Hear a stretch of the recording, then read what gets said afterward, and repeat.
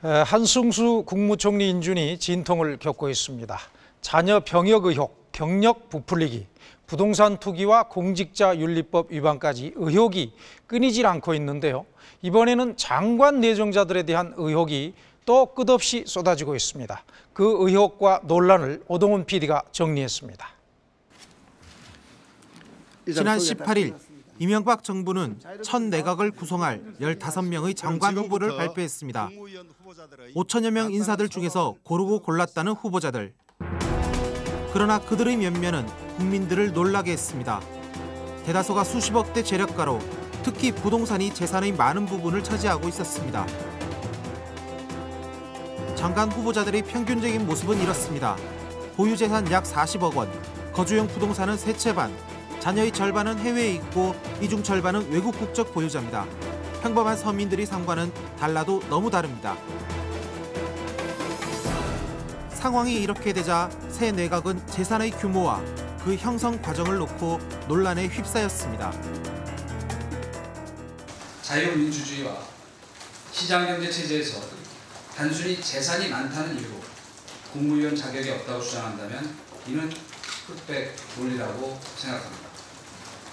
특히 중요한 것은 능력과 국가관입니다. 우리가 그냥 단순히 부자라는 것 때문에 비판하는 것이 아니라 땅 부자라는 것 때문에 비판하는 것입니다. 능력만 있으면 된다고 하는데 저희가 볼 때는 부동산 재테크 능력만 보시고 임명한 게 아닌가 할 정도로 너무 부동산이 많습니다. 예, 이런 점에 대해서 우리가 문제를 지적하는 것이죠. 가장 먼저 논란이 된 인물은 여성부 장관 내정자 이춘호 씨. 이춘호 씨와 그의 장남이 소유한 부동산이 전국에 45건. 이들 대부분이 상속받은 것이라고 해명했습니다. 그런데 본인이 직접 산 것들도 있습니다. 주로 작은 평수의 오피스텔로 이 후보는 투기가 아닌 투자용이라고 주장했습니다. 제가 투기를 사면 그렇게 하겠습니까? 투기를 사면은 좋은 거 몇 개 사야지 그 일일 뭐 220평, 뭐 100평, 뭐 80평 뭐 이런 거 해서 그렇게 막 20건, 30건 갖고 있겠습니까? 그거 바보 천치죠. 청문회에서 모든 것을 밝히겠다던 이 후보는 지난 일요일 후보직에서 물러났습니다. 저는 일생을 바르게 살아왔고 공익을 위해 일해왔다고 자부하고 있습니다. 따라서 저로서는 이라는 비판을 받아들이기 어렵습니다. 힘차게 출발해야 할 이명박 정부에 걸림, 걸림돌이 되지 않기 위해 저 이춘호는 여성부 장관 내정지에서 물러나고자 합니다. 상속받은 것이고 남편의 선물이라며 투기 의혹을 부인했지만 그 해명이 오히려 여론을 악화시켰고 결국 지명 6일 만에 사퇴하게 된 것입니다. 부동산 투기 의혹은 다른 후보들도 마찬가지였습니다. 이번에는 박은경 환경부 장관 후보. 박 후보가 1999년 매입했다는 3,800평방미터, 약 1,200평의 김포 땅이 문제가 됐습니다. 이 땅은 직접 농사를 짓는 사람만 가질 수 있도록 법에 규정된 절대 농지로 농사를 짓지 않는다면 소유 자체가 위법입니다. 절대 자연 녹지. 절대 자연 농지. 자연 녹지. 자연 절대 녹지. 자연 녹지. 어, 앞에 절대자가 붙는다. 여기는 농사 짓는 사람만. 그렇지.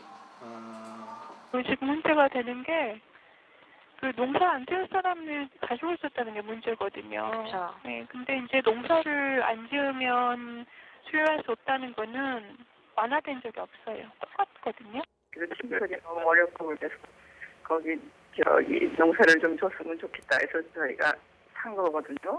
잘못됐던 부가마 뭐 네가마씩 갖고 있습니다. 이 말은 사실이 아니었습니다. 확인 결과 직접 농사를 짓고 있는 사람은 박 후보자와 아무 관계가 없는 사람이었습니다. 박은경 그 내정자와 친인척 관계는 아니신 거죠? 네, 살림은 그거 저기 가서 농사 짓는 사람이니까 쉽지. 예예. 돈 돈에 들어가서 농가이고 못 내고 다 이렇게 해서 먹고 살기 위해서 하는 사람이고. 자연을 좋아하고 땅을 사랑해서 산 것이지 투기는 아니라고 해명한 박은경 후보. 그러나 지난 9년 동안 박 후보 부부는 45건의 부동산을 사고 판 것으로 드러나 이 해명 또한 설득력이 떨어집니다.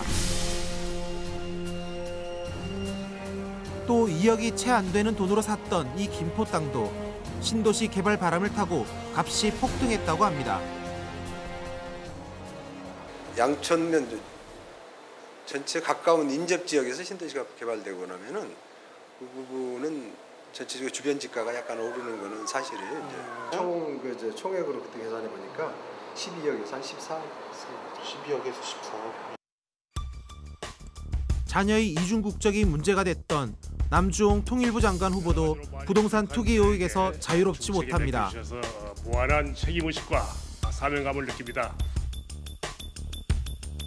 남주홍 후보 부인 엄모 씨는 경기도 오산 외산미동 일대에 1,800평방미터의 대지를 가지고 있습니다.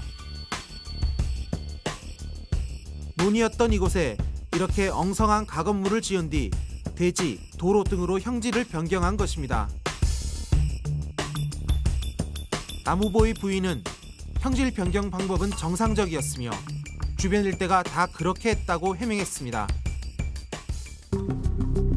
이곳은 최근 땅값이 크게 오른 곳으로 개발 이익을 노린 외지인들이 매입, 형질을 변경한 경우가 많다고 합니다. 한 200에서 230 정도 그렇게 보면 될 거예요. 이제 그 당시에 좀 기대 심리로 사는 거지 땅을 아 손해 보려고 사겠어요, 누가? 또 남후보의 부인은 영주권자로 미국에 거주하면서 수원의 상가를 매입했습니다. 지난해 5월에는 공장을 짓겠다며 거래 허가를 받아 땅을 사놓고 아직 공장은 짓지 않은 채 인삼을 경작하고 있습니다. 남 후보자에 대한 부동산 투기 의혹이 꼬리에 꼬리를 물고 이어지고 있습니다. 후보자들의 부동산 문제가 계속 불거지면서 이명박 정부 첫 내각에 대한 우려의 목소리도 커지고 있습니다. 10년, 20년 저축해야지 그 자기가 살 집을 마련할 수 있다는 것은 정상적인 사회라고 보기 힘듭니다. 그런 사회에서 그런 상황에서 그 집과 땅을 다수 갖고 있는 사람들이 장관이 된다면은 기본적으로 부동산은 가격을 올리는 정책에 그 좀 더 그 힘을 쓸 가능성이 높아집니다. 이 내각이 이대로 이렇게 전부 다 장관 장관 청문회 통과해 갖고 임명이 된다면은 부동산 정책 관련해서는 커다란 이해 충돌 문제가 생긴다고 볼 수 있습니다. 하지만 한나라당 측은 근거 없는 선입견이라고 일축했습니다. 자기가 부자니까 서민들한테는 불리하고 자기처럼 부자들한테 이득이 되는 그런 정책을 할 것이다. 그렇게 지레 짐작하는 것은 그거는 수준 미달이라고 봐요.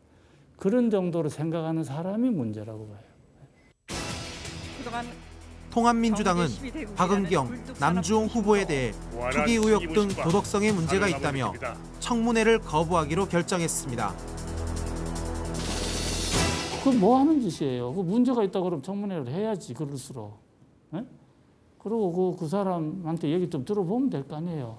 그 못할 거 뭐가 있어요? 무서워서 못하는 거예요? 뭐예요? 예? 그러니까 이거는 완전히 바람잡이잖아요. 청문회라는 것을 왜 합니까? 청문회라고 하는 것은 자질과 도덕성을 검증하기 위해서 있는 겁니다. 그런데 청문회 과정에서 이미 명백히 청문회를 시작하기 전에 명백히 문제가 드러났어요. 이춘호 씨를 교체하는 것처럼 얼른 교체해주면 국회에서 청문회 한 번만 하면 되지 않습니까? 그러니까 소모적인 정쟁을 줄이자는 겁니다. 우리가 정치 공세하자는 게 아닙니다.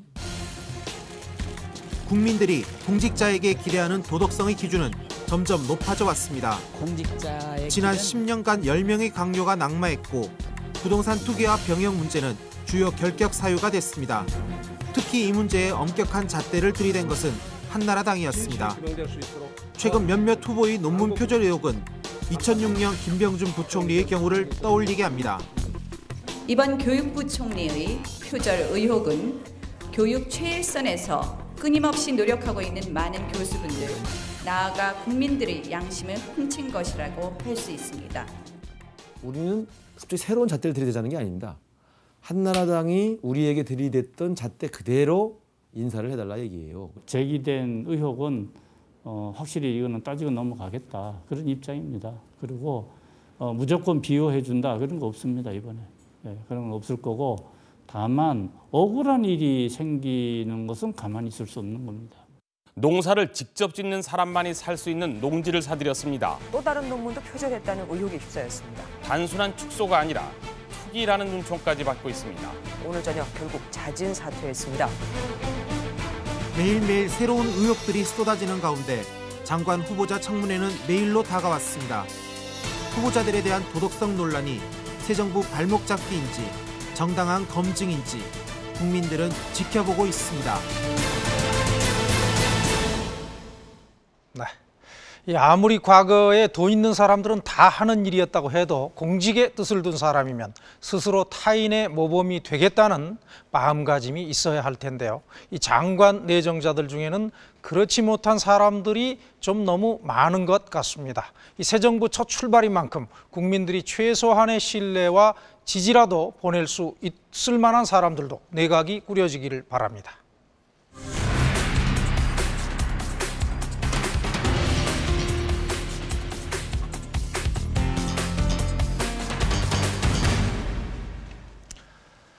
이 동국대 신정아 교수의 가짜 박사 학위가 문제가 된 후에 각 대학에서는 이른바 가짜 박사, 엉터리 박사들의 정체가 속속 드러난 바 있습니다. 그분들 이제는 교수직에서 물러났겠거니 생각을 했는데 알고 보니 그게 아니었습니다. 본인이 버티면 대학도 교육부도 법원도 몰아낼 방법이 없다고 합니다. 오성광 PD, 네. 어, 엉터리 박사 학위로 강단에 서는 교수들 수가 얼마나 될까요? 네, 어디까지를 엉터리로 볼 것이냐에 따라 달라질 텐데요. 박사 학위도 없으면서 박사 행세를 하는 가짜 박사부터 음. 논문 표절, 논문 표절 등 편법을 동원해 학위를 취득한 비정상적인 박사까지 네. 그 숫자는 결코 적지 않을 것입니다. 네. 아, 최근 엉터리 박사, 어, 비정상적인 박사들이 무더기로 적발된 한 대학을 가봤습니다. 인천의 한 대학이 엉터리 박사 파문에 휘말렸다. 발단은 지난해 여름 신정아 씨의 가짜 박사학위 파문이 일던 무렵 이 대학에도 교수 중에 가짜 박사가 있다는 소문이 나돈 것이다. 감독관청인 인천시가 감사에 나섰는데 지난주 결과가 발표됐다. 문제가 된 교수는 모두 아홉 명 가짜 박사가 둘, 비정상적인 박사가 일곱 명이었다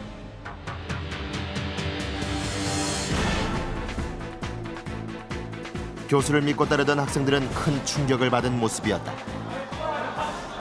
아홉 명씩이나 돼요? 한 명도 아니라? 그냥 어이없는데? 그동안 수업료 내고 다 줬잖아요. 예. 근데 막상 보니까 나를 가르친 사람이 가짜였다. 그렇게 기분이 좀 있어요. 그냥 황당하죠. 교수들 중 두 명은 97년 카자흐스탄의 국립과학원에서 공학 박사를 취득했다고 한다. 그런데 학위증에서 이상한 점이 발견됐다. 같은 해 발행된 학위에 같은 기관장이 한 서명인데 서로 달랐던 것이다. 인천시는 카자흐스탄에 질의했더니 이들이 박사학위를 받았다는 97년에는 국립과학원이 존재하지 않았다는 답신이 왔다. 없는 기관, 존- 존재하지도 않는 기관에서 학위를 딴 것으로 이제 그쪽에서 국립과학원으로, 과학원으로부터 직접 문서로 다 저희가 받았기 때문에 가짜로 판명을 했고 논문까지 냈지만 교수들은 국립과학원의 수업에 단 한 번도 출석하지 않았던 것으로 드러났다. 박사학위증도 국립과학원을 소개했던 브로커로부터 전해받았다고 한다. 결과론적으로는 세르게이 박한테 사기를 당한 것 같더라고요. 근데 본인들도 그렇게 얘기한 거고 사기 사기 받은 사기 당한 것 같다. 돈을 뭐 어느 정도 많이 썼나요? 한 3천 불, 3, 4천 불, 3, 400만. 이렇게 얻은 가짜 박사 학위로 10여 년간 박사 행사를 했다는데 감사 내용이 사실인지 물어봤다. 지금은 안 맡고 싶지 않은데 학위 위조됐다 이런 부분에 대해서는 그런 동의하고 계시나요? 그, 글쎄 뭐 여러 가지 뒷 얘기가 있을 수 있는데 이걸 여기서는 안 하겠습니다. 좀 이해해 주세요. 가짜 박사로 파명된 또 다른 교수 황급히 자리를 피했다.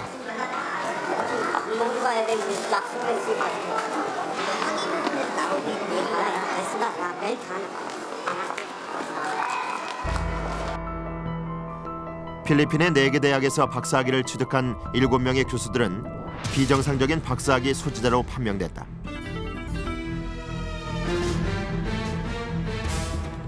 학위 과정 중 학교가 있는 필리핀에 간 것은 방학 중 10여일에 불과했다.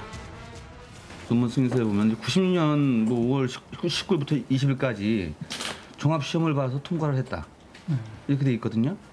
근데 이분이 날짜에 출국 사실이 없어요. 뭐 논문의 질 같은 건 제가 확인할 수가 없고. 논문을 본인이 직접 작성했는지도 의혹이라고 한다.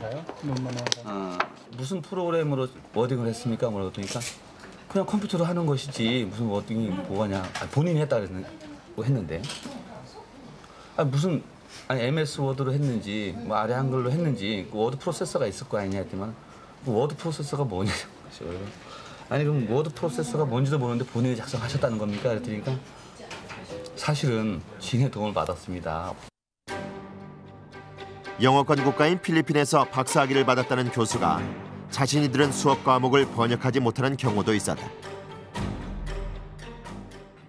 과목 코드가 있고 과목 코드가 있고 이제 과목들이 있어요. 과목 제목들이 타이틀이.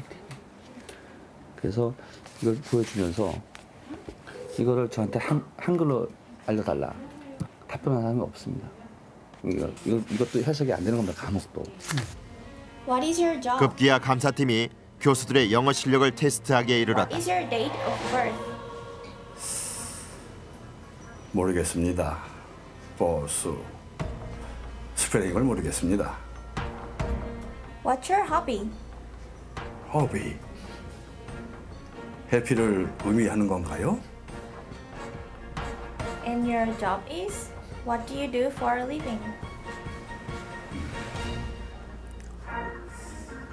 그 일곱 분은 혼자서 외국에도 갈 수 없을 정도의 영어 실력인 거예요. 완전히. 가짜는 아니지만 비정상적인 학위라는 판명이 내려졌다. 학교에서 그 형식적인 절차만 거쳐, 거쳐도 학위를 주는 학위 장사를 한 거예요 학교에서. 그럼 이거를 이걸로 하나의 그 연구 실적으로 볼 수 있겠냐 이거 진짜 이게 연구 실적이냐? 한 교수는 영어를 못했을 뿐이지 정상적으로 취득한 학위라고 항변했다. 영어권에서 영어를 모르는데 어떻게 하느냐 이것만 따진다고 하면 할말 없습니다. 그 외에 할 말이 어떻게 있습니까? 그러나 가짜는 아닙니다. 정식 코스 정식 발표를 했습니다. 당시 현직 교수들이던 이들이 왜 무리하게 박사학위를 취득한 것일까?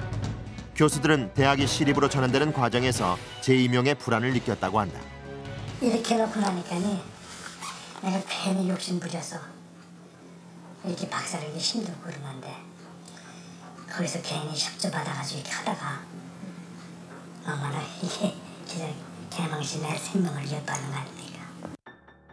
한편으로는 현직 교수가 외국 대학에 박사학위를 신청하면 손쉽게 받아온 게 관행이었다고 항변했다. 뭐 물귀신닥지나 물귀나라게 삽니다. 외국 데 나가서 2, 3년에 따온 박사들은 다 뭡니까? 그러니까 왜 우리만 또 이렇게 집었는지 그것도 이상하고요.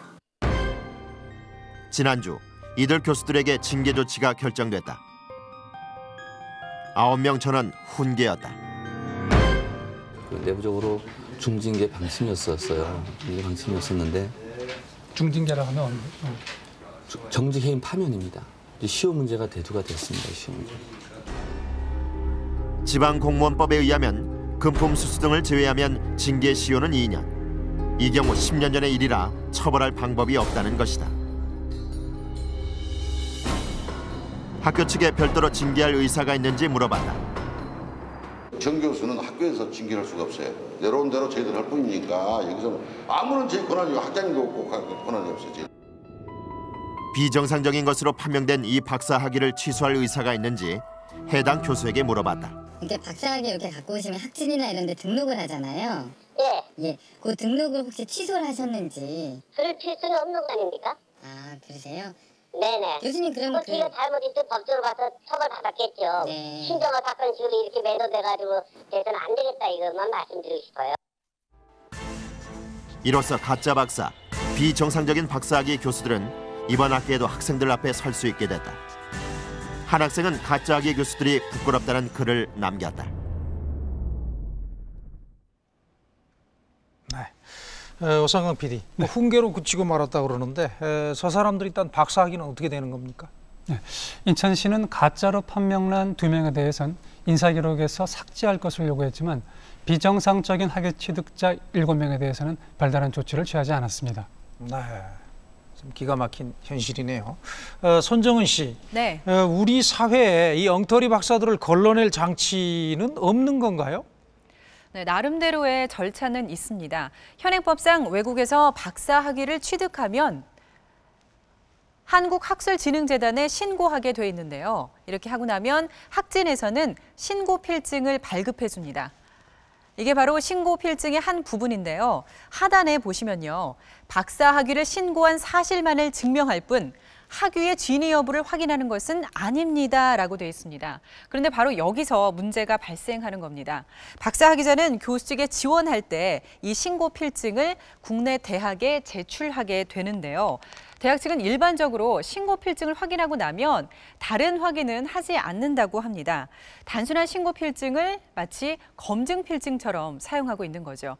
그리고 또 다른 문제는 이렇게 임용돼서 2년이 지나고 나면 어, 나중에 가짜로 판명이 된다 하더라도 징계 시효가 지났기 때문에 해임할 수 없다는 사실입니다.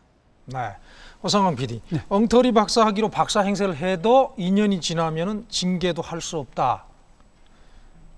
도저히 납득이 안 되네요. 네, 그렇습니다. 그래도 앞에 보신 분들은 과정과 절차가 어쨌든 박사 과정을 밟은 분들입니다. 그런데 박사 과정을 밟지도 않고 박사 행세를 하며 강단에 선 경우도 있다고 해서 알아봤습니다. 전국의 한 대학교 교수가 동료 교수를 고발했다. 석사학위임에도 이력서에 박사로 기재하는 등 계속해서 박사 행사를 한다는 것이다. 이건 학교에서는 있을 수 없는 일이거든요. 그래서 예를 들면 본인이 제일 잘하는 사실에 대해서 그것을 진실성을 숨기는 것은 앞으로 이제 학생을 가르치는 입장에서나 이런 것을 보면은 굉장히 중대 사안이라고 본 거죠. 그래서 이제 검찰에 고발까지 하게 된 거죠. 조 교수가 고발한 사람은 같은 층의 이 교수. 교수실 팻말에는 PhD, 즉 박사학위 자라고 적혀 있었다. 이 교수의 최종 학위는 이탈리아의 라우레아. 이 과정을 마치면 도토레라는 칭호가 주어진다. 보통 학자나 박사를 뜻하는 도토레가 학위에 쓰일 때는 대학의 학부 졸업자, 즉 학사를 의미한다고 한다.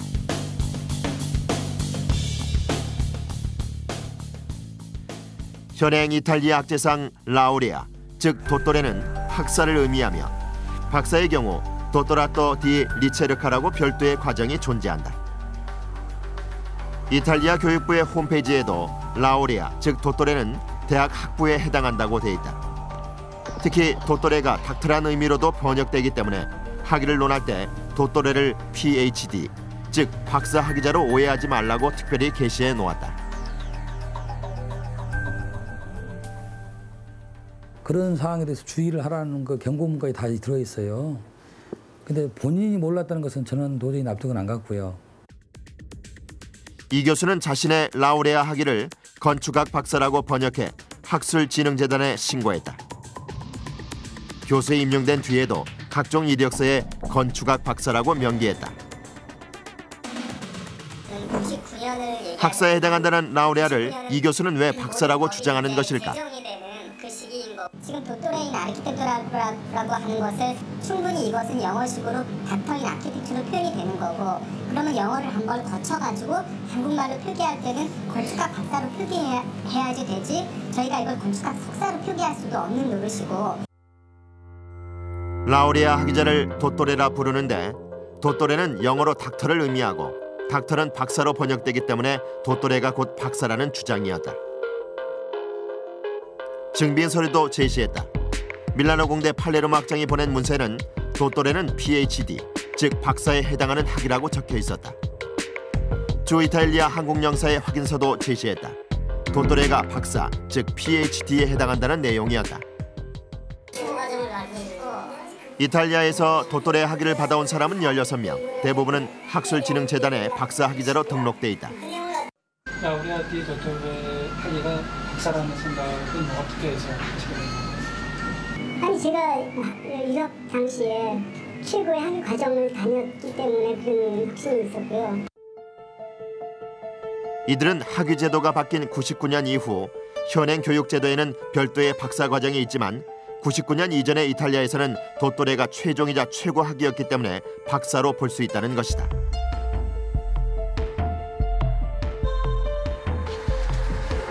그래서 선비적부터 대대로 라우레아 도토레 학위를 박사 학위로 신고했다고 한다.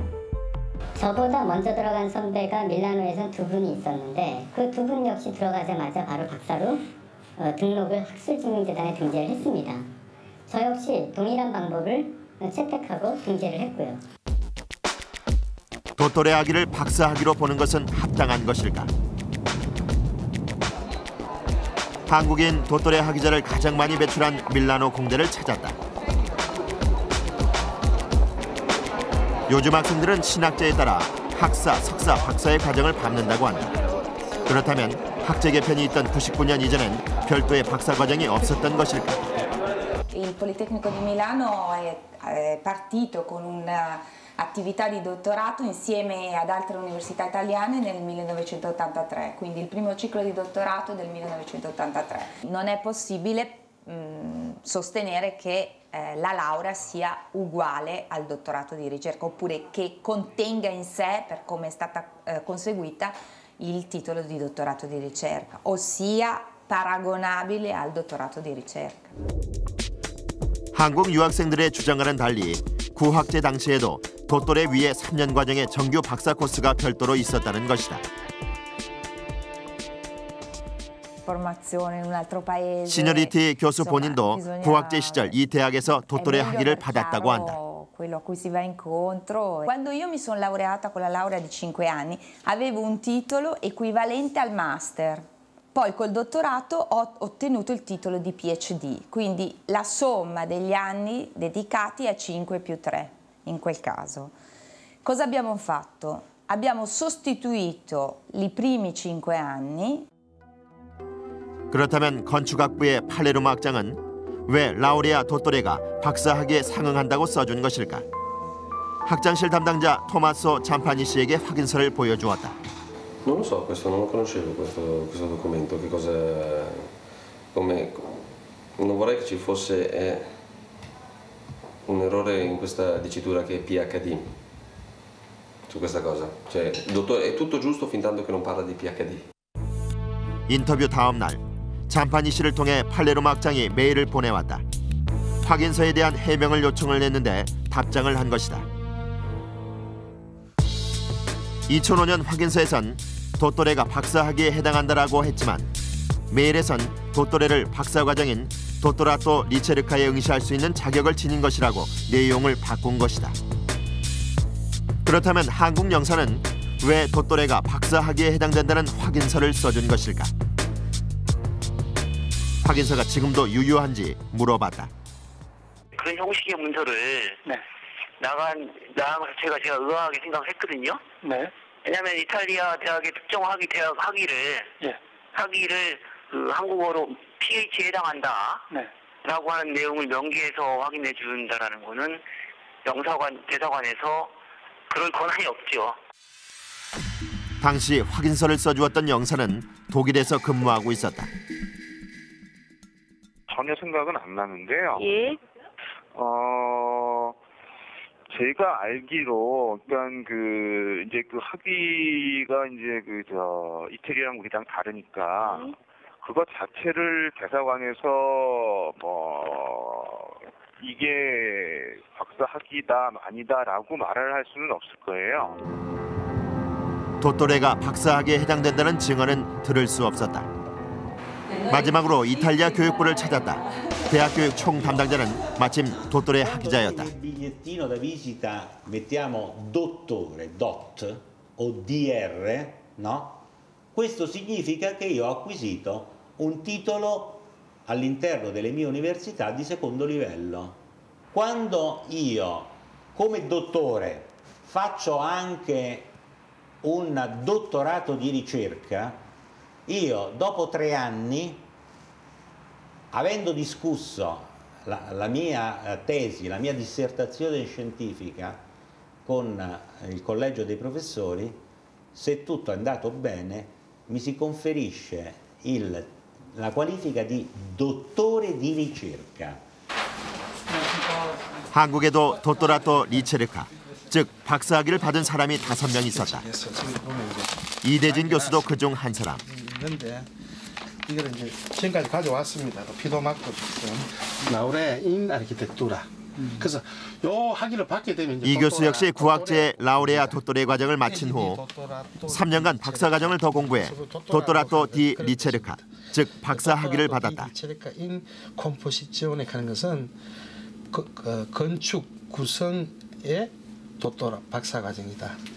dottorato di ricerca. 그런데 이 학교에는 이탈리아에서 건축을 전공한 교수가 또 한 사람 있다고 한다. 이 교수의 최종 학위는 라우레아, 즉 도토레다.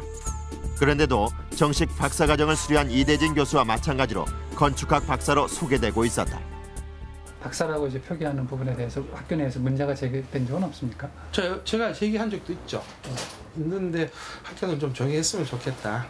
교수님 본인은 뭐 어떻게 말씀하시던가요? 제 앞에서는 박사를 얘기 안 하죠. 도토레 학위밖에 없지만 박사 행세를 하고 있는 교수를 만났다. 이 교수는 명함에도 자신을 건축학 박사로 명기해 놓았다. 자 이태리 유학 갔다 오셨는데 그 석사를 따오신 겁니까? 박사를 따오신 겁니까? 이렇게 할 수 있잖아요. 그럼 저는 일반적으로 얘기할 때는 그 외국에 듣게 있으면 뭐 건축학 박사라고 해서 라우레아 디 도토레인 학위. 학위 쪽에는 도토레로 기록돼 있었지만 학술진흥재단에도 박사로 신고했다고 한다.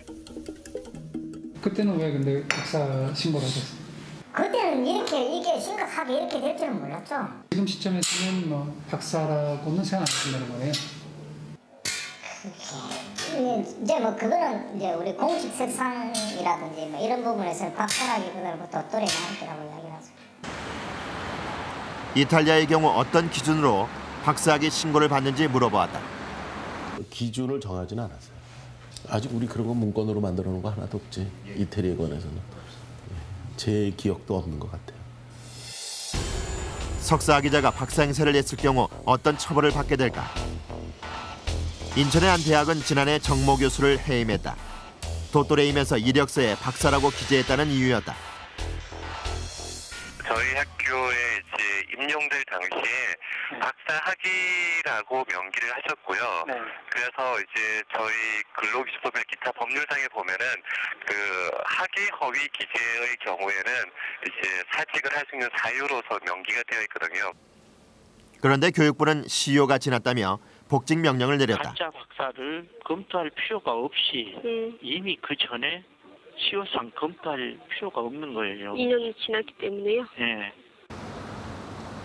이 대학 한 교수는 교육부의 결정을 이해할 수 없다고 했다. 정의 차원에서는 이게 있을 수 있다는 얘기죠. 제가 보기엔 그렇습니다. 그렇다 그러면 앞으로 누가 박사를 합니까? 자꾸에? 정말 참그 말도 안 좋은 데 가서 새벽별 보고 들어가서 밤늦게 들어가지고 실험하고 뭐하고 해서 그 오는 건데 누가 그 어렵게 합니까? 동료 교수에게 고발당했던 비대학의 도토레 이 교수는 어떻게 됐을까? 검찰은 이 교수를 기소하지 않는 대신 앞으로 박사학위를 사용하지 말도록 권유했다고 한다. 가장 문제는 그럼 이 사람이 고의성이 있었느냐였어요. 검찰에서도 마찬가지고. 이 사람이 자기 학위가 박사가 아닌데 우리가한테 박사로 썼다 그러면 그건 허위사실 기재가 되고 고의성이 있는 건데 우리가 봐도 그렇고 검찰에 봐서도 그렇고 그건 고의성이 있다고 보기에는 판단할 수가 없는 거죠. 그런 상태에서 우리도 그래서 정직 1개월이란 나름대로 사실 중징계예요, 그게요. 우상원 PD, 학위를 속여서 어, 교수가 되고도 이제 별다른 처벌을 받지 않는다 그러니까 당최 상식적으로 말이 안 되는 거 아닌가요? 예, 그렇습니다. 일반적인 법 감정으로는 납득하기 어려운 상황입니다. 네. 더구나 최근엔 가짜 박사 혐의로 법정에선 교수들에게 잇따라 무죄 판결이 내려지고 있습니다. 그러면서 법 논리에 교육이 멍들고 있다는 목소, 우려의 목소리가 커지고 있습니다. 2006년 3월 검찰은 이른바 해외 가짜 박사학위 매매 조직 관련 수사 결과를 발표했다. 제대로 된 학위를 가지고 있는 사람들은 무시를 하고 그리고 그 굉장히 사석에서 이들에게 학위를 내준 곳은 러시아 블라디보스톡의 극동 국립예술 아카데미. 러시아에서 직접 수업을 들은 것은 일년에 두 번. 나머지는 서울의 사설음악학원에 러시아 교수들이 찾아와 수업을 진행했다. 보통 2년 과정이었고 학비는 한 학기에 500만 원이었다. 대부분 이제 어, 뭐 복싱을 다니는 분들은 정말 열심히 해서 뭐 경기간에 한 뭐 5, 6년 이 정도를 생각하지 못지만 대부분 50년에 한 10년 정도는 공부를 하셔야지만 제대로 된 학위를 받을 수가 있어요. 이런 곳에서 다들 열심히 정말 공부하는데 다른 분들께서 방학 동안에 학기에 잠깐 뭐몇번 레슨 받고서 그런 것들을 하기를 그건 한다고 표현을 해야겠죠. 당시 검찰은 이 학위를 허위라고 보고 이 학위로 학술진흥재단에 박사학위 신고를 한 교수와 강사 등 20명을 위계 공무 집행 방해 등의 혐의로 기소했다. 그런데 지난주 법원은 전원 무죄를 선고했다.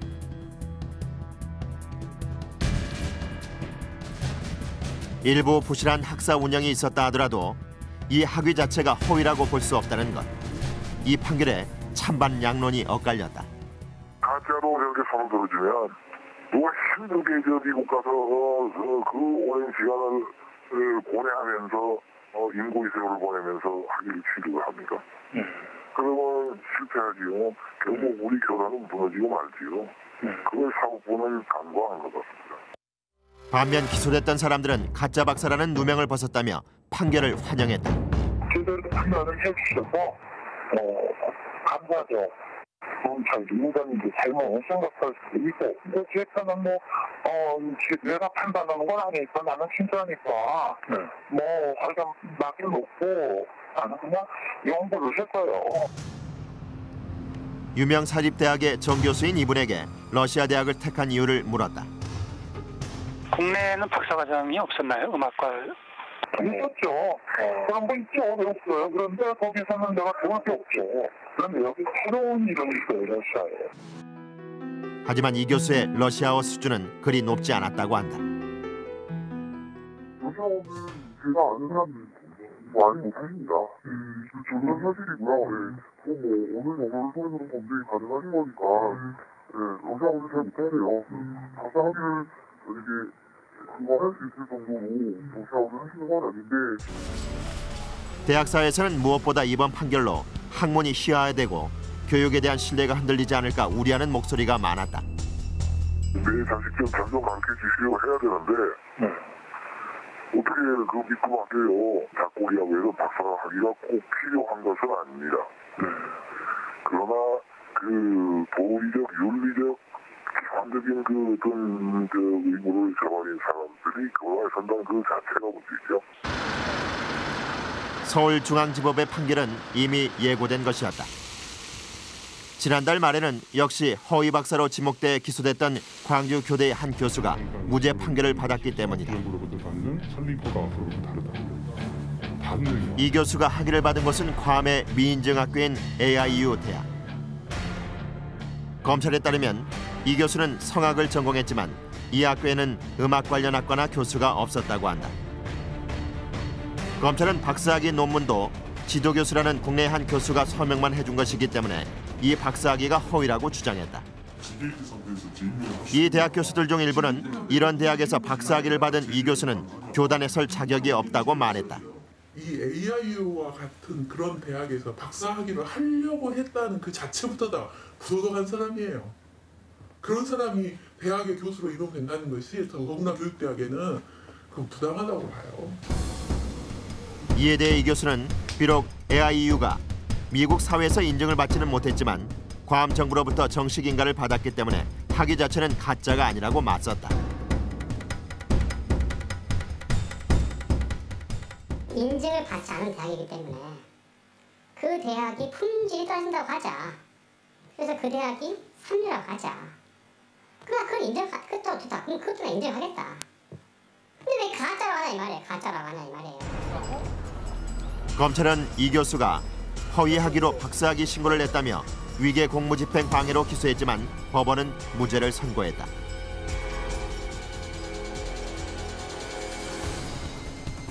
역시 학사 운영이 부실했다 하더라도 박사학위 자체가 허위는 아니라는 취지였다. 무죄 판결이 나자 총장은 이 교수와 조건부로 재계약하겠다고 밝혔다.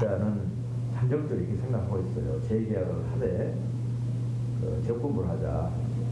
학위를 그 안에 받고 또 어, 제2심에서 만약에 법적으로 문제됐을 때는 당장 법에 따라서 어, 퇴출하는 그것도 한번 고려를 하고 있습니다.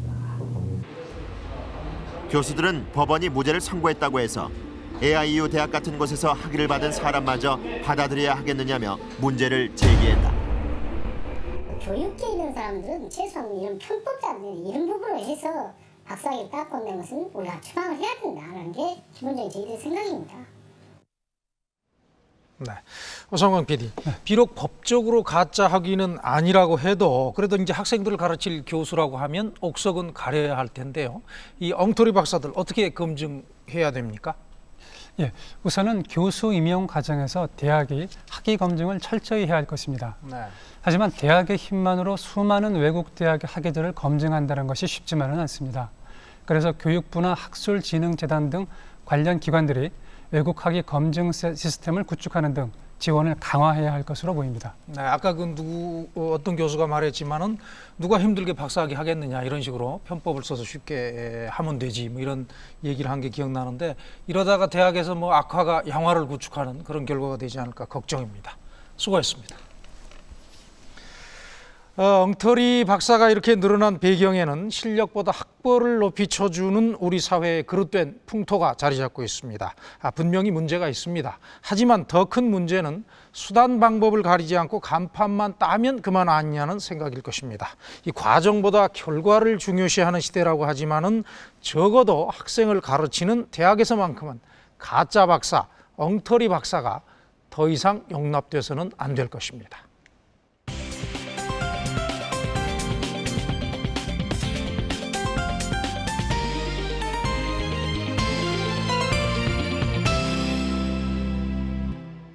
혹시 주식에 투자하고 계신가요? 주식을 사는 순간 그 회사의 여러 주인 중 한 사람이 되는 건데요. 그런데 내게 돌아와야 할 이익을 대주주가 편법으로 빼돌리고 있었다면 어떻게 해야 할까요? 소액 주주를 보호하기 위해서 한 시민단체가 감시 활동에 나섰습니다.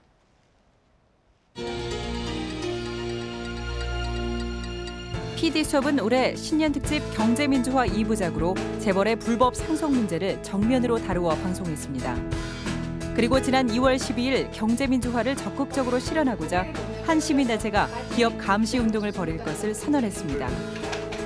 경제개혁연대는 기업의 불법 행위로 주주들이 피해보는 것을 막기 위해서 소액주주 운동을 펼쳐나갈 예정입니다. 많은 주주들이 이 소송에 참여함으로써 자신의 침해된 권리를 스스로 회복하는 기업들의 투명성을 높이고 주주 권익을 보호하기 위해서 소액 주주들의 많은 참여가 필요할 때입니다. 네, 방송이 되는 동안 오늘 방송된 장관의 조건 그리고 엉터리 박사에 대해서 여러분의 문자 메시지가 많이 왔습니다. 소개해드리겠습니다. 3495님, 가짜 박사가 판치는 교수들한테 비싼 등록금 내고 무얼 배울지 세상이 두렵다 이렇게 보내주셨고요. 그리고 1602님, 이게 다 무조건적인 학력 위주의 사회가 만들어낸 웃지 못할 코미디가 아닐까 싶네요. 안타깝습니다. 라고 이렇게 마음을 전해주셨습니다. 8827님, 새 정부가 낮은 마음으로 섬기려 한다면 실제로 그 일을 할 분들이 먼저 낮아져서 섬기는 자가 되어야 합니다. 라고 말씀해 주셨네요. 7637님, 재산 많은 사람이 장관하지 말란 법은 없으나 과연 시민을 위한 정치를 할 수 있을지 걱정이네요. 라고 우려해 주셨고요. 그리고 1308님, 나라를 이끄는 수반인 장관은 도덕적으로 흠이 없어야 할 것입니다. 앞으로도 더욱 많은 의혹을 캐내 주십시오 라고 보내주셨습니다. 새 정부가 선진화 원년이라고 말을 했는데 제도적으로나 도덕적으로나 진짜 선진국, 선진화가 무엇인지 다시 한번 생각해 봐야 할 겁니다. 방송이 끝난 이후에는 여러분의 의견을 인터넷으로 받도록 하겠습니다. 다음 주에 정리해서 다시 소개해 드리겠습니다. 네, 선정은 아나운서 수고했습니다. 어, 어제는 새 대통령이 취임을 하고 오늘은 뉴욕 필하모닉의 역사적인 평양 공연이 있었습니다. 바야흐로 새로운 시대가 시작되고 있습니다. 날이 몹시 추운데요. 이번 추위만 지나가면 봄도 성큼 다가온다고 합니다. 아, 봄은 부자든 가난한 사람이든 가리지 않고 찾아오지요. 부디 다가오는 시대 또한 그러하기를 기대합니다. 피디수첩 오늘은 여기까지입니다. 감사합니다.